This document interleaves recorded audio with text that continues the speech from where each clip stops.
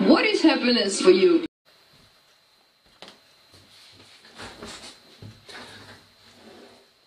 Доброго времени суток, с вами Макс Сагер, я сейчас за кадром, но сейчас будет речь не обо мне, а о ватно-марлевой пробке для большой пробирки. У Козьмы Прудковой есть замечательное выражение. Некоторые явления кажутся нам непонятными не потому, что наши понятия слабы, а потому, что эти явления не входят в круг наших понятий. Так вот, если в круг ваших понятий раньше не входило изготовление ватно-марлевых пробок, то, возможно, у вас возникнут с этим небольшие трудности.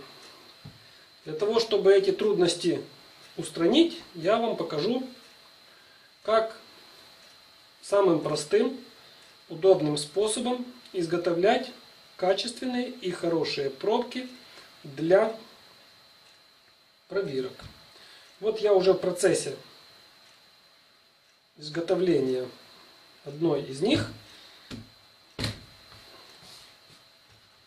И начинаем скатывать саму пробку.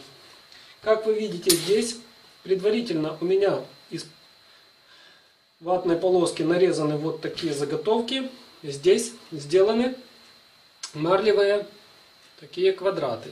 Они делаются или из бинта, или из марли. Можно делать из мотка марли. Из марли они получатся намного, в разы дешевле, чем получится из бинта. Потому что бинт дорогой, а марля намного дешевле. То есть мы заготавливаем достаточное количество вот таких вот квадратов. Теперь приступаем вот к изготовлению. Я для примера сделаю, чтобы было понятно все от начала до конца, я сделаю на этом видео сделаю две пробки, и вы все поймете в общем сами. Значит, вот так прокатываем эту пробку, для того, чтобы у нас получился вот такой вот цилиндр ватный.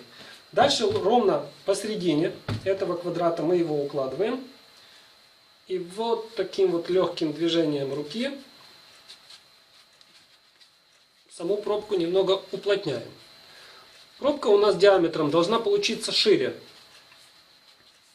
чем диаметр самой пробирки, для того, чтобы плотно она, эта пробка закрывала пробирку. После того, когда мы сделали вот такую заготовочку, вот здесь ее хорошо видно, да? Видите, здесь есть такой хвостик, такая получилась морковка.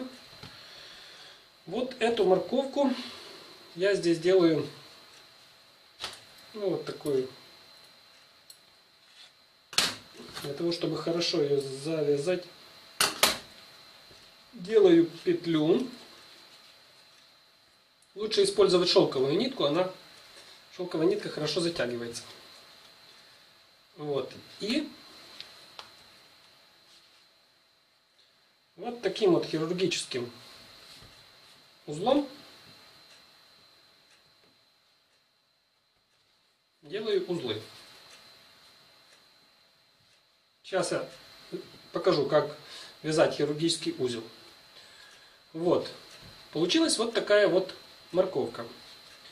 То, что не нужно, мы отрезаем.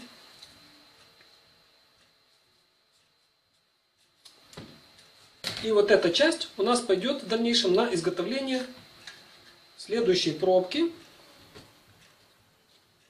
Вот, а то, что у нас получилось, видите, она получилась намного больше чем диаметр пробирки. Но это все-таки вата и все-таки бинт, и мы ее модули... моделируем под саму пробирку.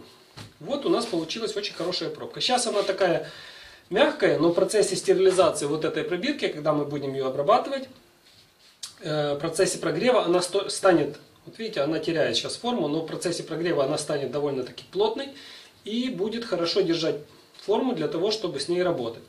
Пробирка, э, то есть пробка, должна быть достаточно длинной, для того, чтобы в дальнейшем, когда мы держим, например, петлю или пинцет, она должна быть достаточно длинной, для того, чтобы она умещалась у нас под пальцем мизинца, и для того, чтобы ту часть, которую мы будем вставлять пробирку, мы не касались руками. Вот для этого мы э, вот эту пробку должны сделать достаточно длинной. Для того, чтобы мы могли ее извлечь, сделать какую-то процедуру манипуляцию посева. И после этого таким же образом могли ее закрыть. В то же время вот этой частью, которая находится внутри пробирки, не касаясь руками. Вот для этого мы делаем вот такие пробки. Дальше, когда мы сделали одну, приступаем к изготовлению следующей. Видите, у меня здесь нарезано очень много вот этой ваты, потому что я делаю много сразу вот этих пробирок. И смотрите, все вот эти отходы, которые у нас остались после изготовления предыдущей, мы добавляем уже в следующую пробку. То есть то, что мы вот отрезали, вот эти хвостики от морковки, мы сюда их аккуратно расправляем, закладываем. В то же время вот это, я бы так сказал, мы ее, вот этой марли, мы ее вроде как армируем. Потому что в дальнейшем, когда мы ее прокатываем, вот эта марля сдерживает ее от того, чтобы она у нас разворачивалась. И делаем еще одну пробку. Скатываем довольно-таки плотно, стараемся как максимально плотнее попробовать ну, закатать вот эту вату. И сверху вот этой ваты у нас получается бинт. Вот этот бинт получается как армирует ее. После еще прокатывания дополнительно по поверхности стола, она становится еще дополнительно плотной. Здесь мы ее немножко так моделируем.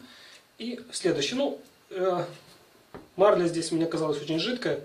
Я ее брал в три слоя.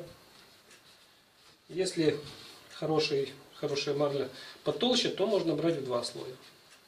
Здесь следим так, чтобы у нас получался приблизительно диаметр, чтобы эта пробка поместилась у нас вот в пробирку в дальнейшем. Вот, сделали опять очередную морковку.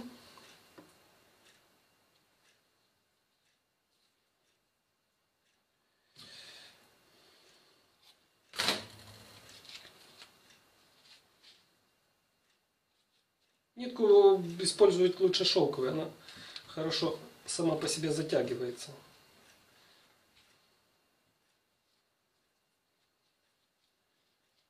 Так. И снова завязываем. Да, хирургический узел нужно научиться вязать. Потому что если вы делаете эти пробки без ассистента, то нужно уметь хорошо и быстро завязывать такие узлы. Подписывайтесь на канал и не пропустите видео о том, как завязывать хирургические узлы. Я покажу. И снова у нас осталось вот этот хвостик. Это пойдет на следующую. Получилась вот такая довольно-таки большая пробка. Но мы ее моделируем и вот таким вот образом ввинчиваем в пробирку. Так должно быть.